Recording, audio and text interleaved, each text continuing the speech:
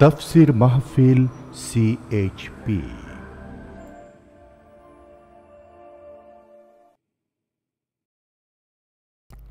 বিসমিল্লাহ রহমান রাহিম।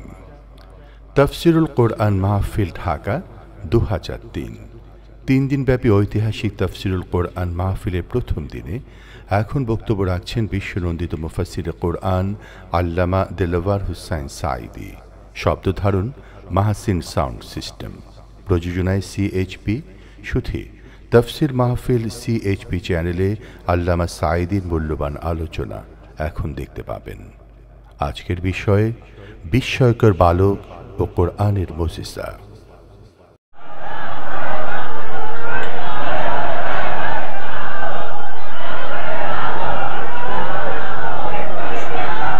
প্রিয় ভাই সব, প্রিয় ভাই সব আপনারা কোরআন প্রেমিক। আলহামদুলিল্লাহ কর আপনাদের পয়সা দিছে ইসলামী পাঠাগার? পয়সা দিয়ে আনাইছে? ইসলামী পাঠাগার আপনাদের রিক্সা ভাড়া গাড়ি ভাড়া দিছে? পয়সা তো দেয় নেই বরং আপনাদের দিয়ে যাওয়া লাগবে। এইটা ঠিক কিনা? এইটা ঠিক কিনা? তাহলে দেখেন আপনারা কোরআন পাগল আমরা কোরআনের প্রেমিক। আলহামদুলিল্লাহ কর কোরআন আর রমজান দুটি কেয়ামতের সুপারিশ করবে আল্লাহর দরবারে। বহারি মুসলিমের হাদিস। আল্লাহর নবী বলেন, রোজার কোরআন দুটিতে কেয়ামতের দিন আল্লাহর দরবারে ফরিয়াদ করে বলবে, রব্বুল আলামিন, তোমার এই সুপারিশ করতেছি। কোরআন বলবে, রব্বুল আলামিন, রোজা তারে সারাদিন না খাওয়ায় রাখছে, আর আমি কোরআন তারে ঘুমাইতে দেই নাই। তারাবির মধ্যে আমার তেলাওয়াত শুনেছে, আবার নিজে রাত জেগে জেগে আমার তেলাওয়াত করছে। আমি কোরআন তোমার দরবারে ফরিয়াদ করি তুমি তার জন্য জাহান নামের আগুনকে মাফ করে দাও। আমি সুপারিশ করি। নবীজি বলেছেন, আল্লাহ পাক রোজা আর কোরআনের সুপারিশ মঞ্জুর করে বান্দাকে জান্নাত দিয়ে দিবে। সেই কোরআন। প্রিয় ভাই সব সরফুদ্দিন আল খালিফা এই যে ছোট্ট একটা বাচ্চার ক্যাসেট আসছে না? এটা হট কেকের মতো বিক্রি হয়েছে বাংলাদেশে, জনমের মতো। আমি যেখানে গেছি, প্রায় সর্বত্র আমাকে প্রশ্ন করেছে এই বিষয়টি নিয়ে। ছোট্ট বাচ্চা কেমনে করেন সে মুখস্থ করল? আর যারা এইসব মজেজায় বিশ্বাস করে না, এই জাতীয় পত্রিকাগুলি লিখছে যেটা কম্পিউটারের বাচ্চা। কপাল যদি খারাপ থাকে, এইরকমই হয়। কপাল খারাপ এক ধরনের লোকদের যারা আল্লাহকে অস্বীকার করে। আকাশ দেখে কয় যে ওটা অনেক দূরে তো, সেই জন্য নীলে নীলে দেখা যায়। আসলে আকাশ বলে কিছু নেই। এই ধরনের কপাল পোড়া যারা তারা বলেছে এটা কম্পিউটারের বাচ্চা। কম্পিউটারে বানাইছে সেইটা। আসলে এত ছোট্ট বাচ্চা বক্তৃতা করতে পারে নাকি? এই ছেলেটির বয়স চার বছর নয়, যেটা বলা হয়। ছেলের বয়স এখন নয় বছর টছর হবে। আজ থেকে চার বছর আগে আমি তার ক্যাসেট সর্বপ্রথম দেখেছি। তানজানিয়ায় একটা খ্রিস্টানের ঘরে জন্মগ্রহণ করেছে। সে বক্তৃতা করার জন্য ছোট মানুষ তো, মঞ্চের উপরে দেয় টেবিল। টেবিলের উপরে দেয় চেয়ার, চেয়ারের উপরে দেয় তক্তা, ওর উপরে বসায়। এখন সে বক্তৃতা করতেছে নানান ভাষায়। আরবিতে বলতেছে, তানজানিয়ান ভাষায় বলতেছে, ইংরেজিতে বলতেছে। আবার তর্জমা করতেছে পাশে একজন। যে তর্জমা করে, সেই তর্জমার ফাঁকে সে আবার নিজের জুতার ফিতা মাইকের দড়ি নিয়ে খেলা করে। ছোট্ট মানুষ তো। আমি দেখেছি। তানজানিয়ান গভর্নমেন্ট তাকে হেফাজত করার জন্য আর্মি কমান্ডো বাহিনী তার সাথে দিয়ে দিয়েছে। তার কোরআনের কোরআন ভিত্তিক ওয়াজ শুনে তার মা বাবা দুজন ইসলাম কবুল করেছে। আমাকে জিজ্ঞেস করে, লোকেরা যে এতটুকু মানুষ এটা পারে কেমনে? এটা বিশ্বাস করার মতো নয়। আমি বললাম, ইমান থাকলে বিশ্বাস করা উচিত। কারণ একটি লোক চল্লিশ বছর পর্যন্ত লিখতে জানেন না, পড়তে জানেন না, নিজের নামও সই করতে পারেন না। কোনো রাজনীতিবিদদের সাথে ওঠা বসা করেন নাই, কবি সাহিত্যিকদের সাথে ওঠা বসা করেন নাই। এমন একটি ব্যক্তিকে চল্লিশ বছর বয়সের সময় আল্লাহ পাক তাকে এমন জ্ঞান দিলেন কেমন পর্যন্ত তার সমকক্ষ জ্ঞানী পৃথিবীতে আর একটাও জন্মাবে না। তিনি কে?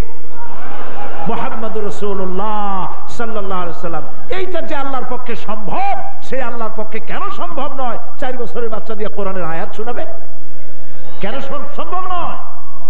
নট সুতরাং এগুলিকে অবিশ্বাস করে ওই সব মানুষেরা যাদের কলিজার মধ্যে সন্দেহের দানা বপিত হয়েছে শয়তানের পক্ষ থেকে, যা দেখে ওর মধ্যেই সন্দেহ। সব জিনিসে সন্দেহ। এই যে কলম্বিয়া ভাঙ্গে চুরে পড়ল, সন্দেহ করতেছে যে লাদেন ওখানেও কিছু একটা করছে। সন্দেহ। গ্রিকদের একবার সন্দেহের রোগে পাইল। তারা সব বিষয়ে সন্দেহ করত। সন্দেহ করত, স্রষ্টা আছে কি নাই? সন্দেহ করত, আকাশ আছে কি নাই? সন্দেহ করত। আমি মানুষ না অন্য কিছু। শেষ পর্যন্ত সন্দেহ করতে করতে এমন এক পর্যায়ে চলে গেল যে তারা এ বিষয়েও সন্দেহ করত যে আদৌ কোনো বিষয়ে তারা সন্দেহ করতেছে কিনা। এই সন্দেহের রোগ যাদের ঢোকে ইমান দুর্বল হলে সন্দেহের রোগ ঢোকে। আর ইমান যদি সবল থাকে, এই সব আশ্চর্য জিনিস দেখে আর শুনে সুবহান আল্লাহ বলে মাথাটা নত হয়ে যায়। সুবহান আল্লাহ বলো। ইন্নাল্লাহ আলা কুল্লি শাইইন কাদির। সমস্ত জিনিস করার ক্ষমতা কার? চিল্লায় বলুন। আল্লাহ পাকের কুদরাত একমাত্র কুদরাত আল্লাহ পাকের অন্য কারণ সেই জন্য কোরআন আল্লাহ পাক হেফাজত করেছেন, পৃথিবীর মানুষের সামনে দিয়েছেন এবং এমন এক কিতাব যা আমল করলে, যা পড়লে পৃথিবীতেও শান্তি আগেরাতেও শান্তি। এই দেখেন, এই যে হাজার হাজার মানুষ বসা, এইটা যদি রাজনৈতিক সভা হইতো, এতগুলি মানুষ বসে থাকতো। অর্ধেক দাঁড়ায় থাকতো। কেউ সিনেমাদাম খায়, কেউ চানাচুর খায়। কেউ কথা কয়, কেউ গল্প করে। কেউ হাসি দেয়, কেউ কাশি দেয়। পাশের থেকে পুলিশে কয়, বসেন বসেন। বিডিআরে কয়, বসেন বসেন। কার কথা কেটা শোনে? সানে সিনেমাদাম জনমের সাবান চাবায়। এখন তাকায় দেখেন তো পুলিশ টুলিশ দেখা যায় নাকি? কেউ বলছে, বলেছে আপনাদেরকে? অনুরোধ করে কেউ? সব পিন পতন বধ, স্তব্ধতা নিরাপত্তা বিরাজ করছে। শুধুমাত্র কোরআন শোনার জন্য সুবহান আল্লাহ চট্টগ্রাম তফসিল মাহফিলে শেষ দিনে বললাম, আপনারা কোরআন শরীফের মসজিদ দেখবেন না শুনবেন? কয় দেখতে পারলে আর শোনে কেটা তা বললাম, তাহলে দেখেন। বিশাল মাহফিল, অন্তত তিন কিলোমিটার এরিয়া নিয়ে, মাহফিলের এরিয়া, চতুর্দিকে তিন কিলোমিটার নিয়ে মানুষ আর মানুষ, আর কিছু নাই। সব যে যেখানে জায়গা পেয়েছে সেখানে বসে আছে। একটি মানুষকেও পয়সা দিয়ে আনা হয় নাই। আর মানুষ সব আল্লাহ যে কোরআনের কথা শুনতে আসলে এত শান্তি, কি বলেন, শান্তি পাচ্ছেন আপনারা? শান্তি জিনিসটা কি দেখা যায়? কীরকম রং শান্তি? লাল না কালো? যদি মুখে মুখে বলা হয়, ওই যে টেলিভিশনে, রেডিওতে বলে মাঝে মধ্যে অং শান্তি। অং শান্তি। আমি বলছি যে ওং ওং করতে করতে যদি বমিও করো, শান্তি হবে না। শান্তি দেখার জিনিস নয়, শান্তি অনুভব করার জিনিস, ঠিক কিনা? অনুভব করার জিনিস। এখানে সব বসে আছে, একজনের ঠ্যাঙের উপরে আর একজনের ঠ্যাং চলে গেছে। আলেম একজন পেছনে পড়ছে, সামনে পড়ছে। একজন বড় লোকের সামনে আরেকজন পড়ছে কেউ কোনো আপত্তি করছে? কোনো আপত্তি করতেছে? কোনো আপত্তি নেই। সব মানুষ শান্তিপূর্ণ ভাবে বসে আছে। যে কোরআন শুনতে আসলে, যে কোরআন শুধু শুনতে আসলে, এই শান্তি, এই নিরাপত্তা বিরাজ করে, সেই কোরআনের আইন দিয়ে যদি দেশ চলে, সেই দেশের অবস্থাটা কি হবে বলে? আমরা সেই লক্ষ্যে কাজ করছি, আমরা সেই লক্ষ্যেই কাজ করে যাচ্ছি, কোরআন দিয়ে যেন দেশ পরিচালিত হয়। মানুষের তৈরি করা আইন দিয়ে পৃথিবীতে কোথাও শান্তি হয় নাই আর হবেও না। একমাত্র শান্তি হবে কি দিয়ে? কোরআন দিয়ে। কথাটা কি আমার? আল্লাহ রাব্বুল আলামিন বলেন, ফামান তাবিআ হুদায়া ফালা খাউফুন আলাইহিম ওয়ালা হুম ইয়াহজানুন। কোরআনের নাম হুদা, কোরআনের নাম কোরআন, কোরআনের নাম ফোরকান এটার নাম জিক্র। এটার নাম শিফা, এটার নাম নূর, এটার নাম তানজিল, এটার নাম কিতাব, এটার নাম হুদা। এই কথা এই নামগুলি কি আমার বানানো? কার বানানো? আল্লাহ পাকের বানানো নাম। অনেক নাম আছে কোরআন শরীফের। আল্লাহ পাক বলছেন, ফামান হুদায়া। যে ব্যক্তি বা যারা এই কোরআনকে মেনে চলবে, ইত্তেবা করবে, অনুসরণ করবে, আনুগত্য করবে, মেনে চলবে খাউফুন আলাইহিম। ওদের জন্য কোনো ভয় নাই। ওদের জন্য কোনো চিন্তাও নাই। আমিন বলেন। ফালা খাউফুন আলাইহিম ওয়ালা হুম ইয়াহজানুন। কোরআনের নাম হুদা, কোরআনের নাম কোরআন, কোরআনের নাম ফোরকান। এটার নাম জিক্র, এটার নাম শিফা, এটার নাম নূর, এটার নাম তানজিল, এটার নাম কিতাব, এটার নাম হুদা। এই কথা এই নামগুলিকে আমার বানানো? কার বানানো? আল্লাহ পাকের বানানো। নাম অনেক নাম আছে কোরআন শরীফের। আল্লাহ পাক বলছেন, ফামান তাবে হুদায়া। যে ব্যক্তি বা যারা এই কোরআনকে মেনে চলবে, ইত্তেবা করবে, অনুসরণ করবে, আনুগত্য করবে, মেনে চলবে, ফালা খাউফুন আলাইহিম। ওদের জন্য কোনো ভয় নাই। ওদের জন্য কোনো চিন্তাও নাই। এই ওয়াদা কি কোনো সরকারের, কোন প্রধানমন্ত্রীর, কোন প্রেসিডেন্টের? চিল্লায় বলেন, ওয়াদা কার? তিনি কি ওয়াদা কখনো ভঙ্গ করেন? আজ যদি পৃথিবীতে মুসলমানদের জন্য নিরাপত্তা না থাকে, ভীতি আসি, পৃথিবীর মুসলমানদের যদি বিপদ ঘনীভূত হয়ে থাকে তার একমাত্র কারণ কোরআন আমরা মানি নাই। কোরআন যদি বুঝতাম আর মানতাম। আল্লাহ রাব্বুল আলামিন ওয়াদা করেছেন, কোরআন মানো, কোরআন মেনে চলো। কোরআন তো আমরাও মানি মানি কিনা? মানি কিনা? হ্যাঁ সবাই বলি মানি। কি মানি? এটা আল্লাহর কোরআন তাই মানি। কিন্তু এর আইনগুলি মানি না। ঠিক কিনা? এর আইনগুলি মানি না। সোজা কথা মানি না। যদি মানতাম, কিসমত এরকম হতো না। আমরা কি তকদির পাল্টাইতে চাই আমাদের? বলেন, তকদির পাল্টাইতে চাই।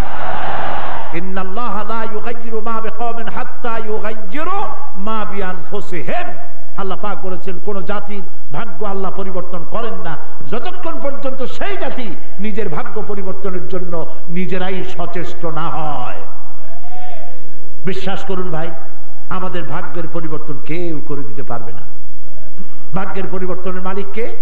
আল্লাহ রব্বুল আলামিন বলেন, কোরআন যদি মেনে চলো, কোনো ভয় নাই। কিসের ভয় নাই? ভয় হয় সাধারণত পৃথিবীতে চুরির ভয়, ডাকাতির ভয়, জেনার ভয়, হত্যার ভয় দর্শনের ভয় ইত্যাদি। এই ভয়গুলি মানুষের মনে থাকে। কোরআনের আইন যদি চালু হয়, চুরি, ডাকাতি, জেনা, ব্যবিচার, হত্যা, ধর্ষণ থাকবে না। সোমান আল্লাহ বলবেন না? আপনি আর্মি দিয়ে যদি সন্ত্রাস বন্ধ করতে চান ফর দ্য টাইম বিং কিছুটা সময়ের জন্য এটা করতে পারবেন। যতক্ষণ আর্মি ততক্ষণ ঠান্ডা। আর্মি নাই, আবার শুরু হয়ে যায়। ঠিক কিনা? দেশে সন্ত্রাস খুব বৃদ্ধি হয়েছিল। আর্মি নামাইছে, ঠান্ডা হয়ে গেছে। গেছে কিনা? ঠান্ডা হয়ে গেছে। যেহেতু মাইরের চাইতে বড় ওষুধ নাই, ঠান্ডা হয়ে গেছে। যখন আর্মি বেড়াকে চলে গেছে, এখন শুনতে পাচ্ছি বড় বড় গডফাদার যারা গড মাদার যারা, এরা নাকি আবার বাইর হয়েছে এলাকায় এসে মুছে তেল মাখতেছে। তা আমি বলেছি, বাবাজিরা মুছে, তোমরা তেল মাখো, আর আর্মিরা লাঠিতে তেল মাখতে থাকুক। সময় আবার আসবে, প্রয়োজনে আবার নামবে। কিন্তু বিষয়টা হলো, এটা কোনো ফাইনাল সলিউশন নয়। এটা কোনো কনফার্ম, নিশ্চিত, কোনো সমাধান নয়। একটা অসম্ভব, অস্বাভাবিক ব্যবস্থাকে স্বাভাবিক করার জন্য, কিছু সময়ের জন্য আর্মি নামানো যেতে পারে। এবং মানুষ পিটায় পাঠায় কিছুটা করা যাইতে পারে হেদায় কিন্তু বিশ্বাস করুন, কোরআনের যে বিচার, কোরআনের যে জুডিশিয়াল ল, ফৌজদারি দণ্ডবিধি, কোরআনের আইন চালু না হওয়া পর্যন্ত সন্ত্রাস হান্ড্রেড পার্সেন্ট নির্মূল হবে না হবে না হবে না। হতে পারে না।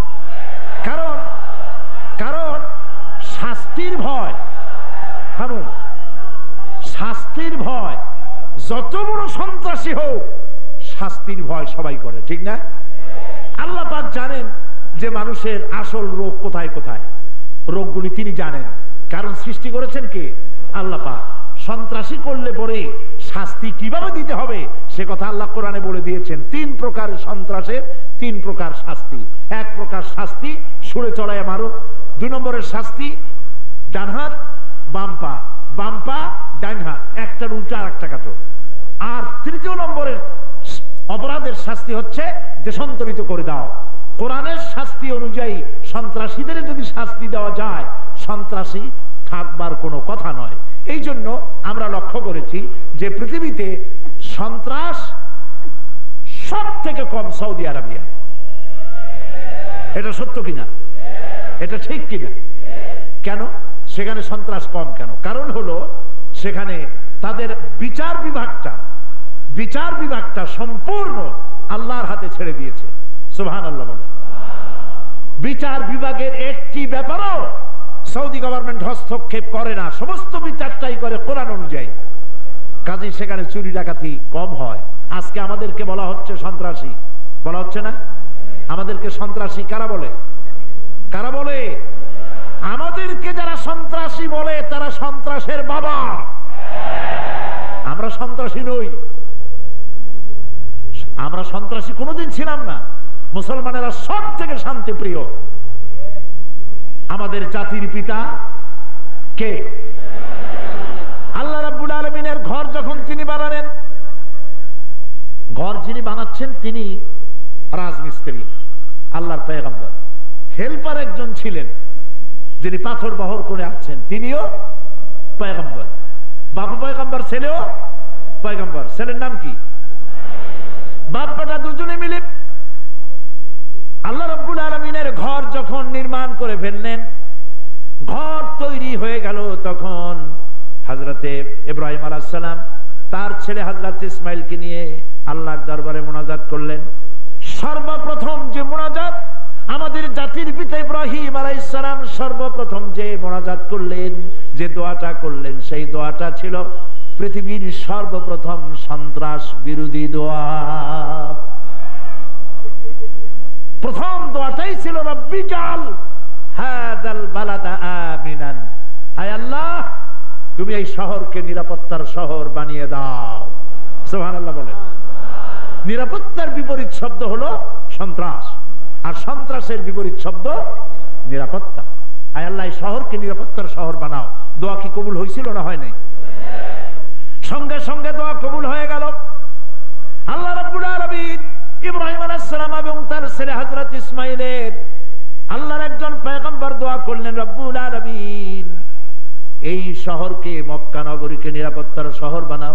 আর একজন পয়গম্বর মুনাজাতের মধ্যে বললেন, আমিন, আল্লাহ, তুমি কবুল করো। সঙ্গে সঙ্গে দোয়া কবুল হয়ে গেল, রব্বুল আলামিন বললেন, ওয়ামান দাখালাহু কানা আমিনান।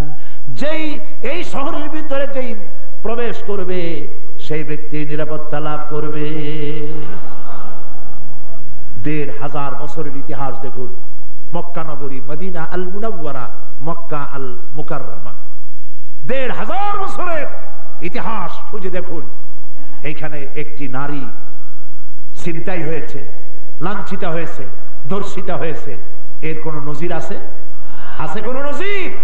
পৃথিবীর প্রত্যেকটি ধর্ম, তাদের ধর্মীয় উপাসনা যেসব জায়গায় তারা গ্যাদারিং করে, মেলা করে, উৎসব করে, প্রত্যেক বছর সেখান থেকে নারী লাঞ্ছিতা হয়, হারায় যায় দর্শিতা হয়। ঠিক কিনা?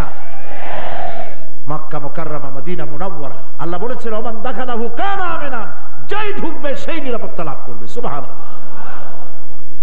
আল্লাহ পাক বলেন আওলাম ইয়ারাও আন্না জাআলনা হারামান আমিনান? তোমরা কি দেখো না, আমি এই শহরকে কীভাবে নিরাপত্তার শহর বানিয়ে দিলাম? তোমরা কি লক্ষ্য করো না, যখন পৃথিবী জুড়ে চিন্তায় রাহাজানি খুন হত্যা দর্শন হয়, তখন আমার এই হারামের ভিতরে কত বড় নিরাপত্তা তাকায়া দেখো। এখন এখন মক্কা শরীফ জমজমাট, সাদা, কালো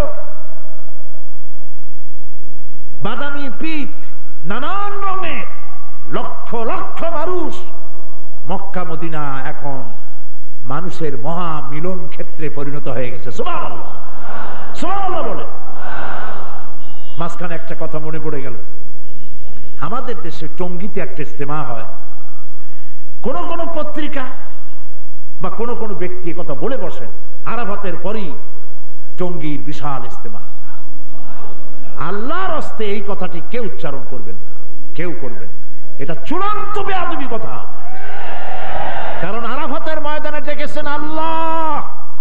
আরাফাতে হাজিরা দেওয়া ফরজ, টঙ্গিতে দেওয়া নফল নয়। কথা বলার সময় সাবধান হয়ে কথা বলবেন। কোথায় আরাফাত আর কোথায় টঙ্গি? টঙ্গিতে পঞ্চাশ কোটি লোক একত্রিত হোক। আরাফাতের সমকক্ষ কেমন পর্যন্ত হইতে পারবে? এই আরাফাতের ময়দানে পৃথিবীর সমস্ত পয়গম্বরদের চোখের পানি শুকাইছে।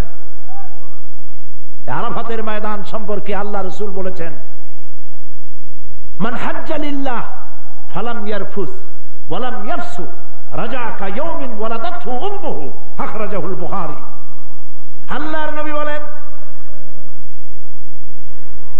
যে ব্যক্তি হজ করল আল্লাহর জন্য